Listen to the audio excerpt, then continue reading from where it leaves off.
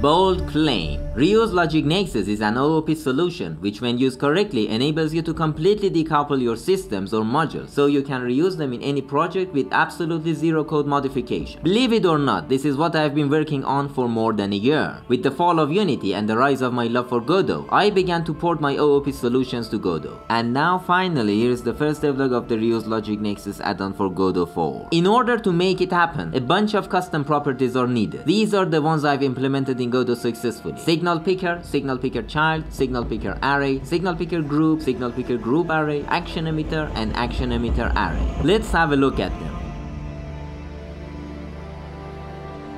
Bringing the folder to an empty project, let's enable the add-on. For testing purposes, I've set up this simple 3D scene. Here I have a node 3D as the root, a brain as the direct child of the root, and a node as a child of the brain. The root parent is not the brain because we don't want to touch the brain code every time we create a new object. The root contains the exported interface so that the designers can modify the variables of the system in the inspector. The brain for now is only a signal manager, containing all the valid signals of the system. Let's add a bunch of signals. There are two basic signal pickers, signal picker and signal picker child. The difference is that the signal picker scans the hierarchy up until it catches the first brain and populates the dropdown based on the signals in the caught brain. The signal picker child does the opposite. It scans the hierarchy down until it catches the first brain. So the child version is supposed to be used in the parent of the brain, which is the root node. If you use them incorrectly, the dropdown won't be populated of course. Let's make the root node listen to the signal.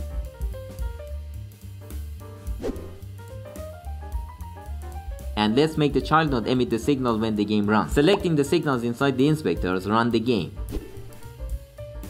and it is working as expected. Let's have a look at the other signal pickers. The signal picker array holds an array of signal pickers. The signal picker group holds a signal picker plus a signal picker array. The use case is in the state machine, when the state listens to one single signal and emits an array of signals in return. And of course we have the signal picker group array, which holds an array of signal picker groups. More on the state machine system in a future devlog. We also have the action emitter and action emitter array properties, because we need to emit signals when there is some input.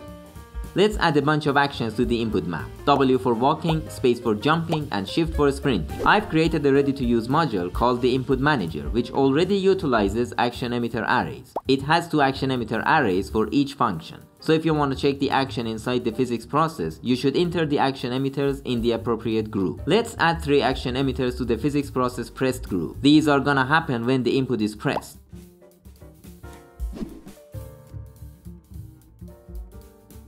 We want to stop sprinting when the sprint action is released, so let's add it to the physics process release too. But this time we emit the sprint release signal instead. Pause the video and read the code if you want to see how the input manager is implemented.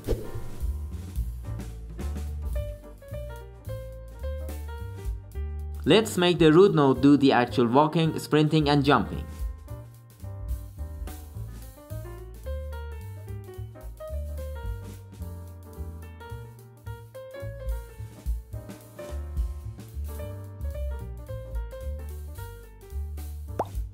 Disabling the emitter in the child node, run the game and everything is working perfectly.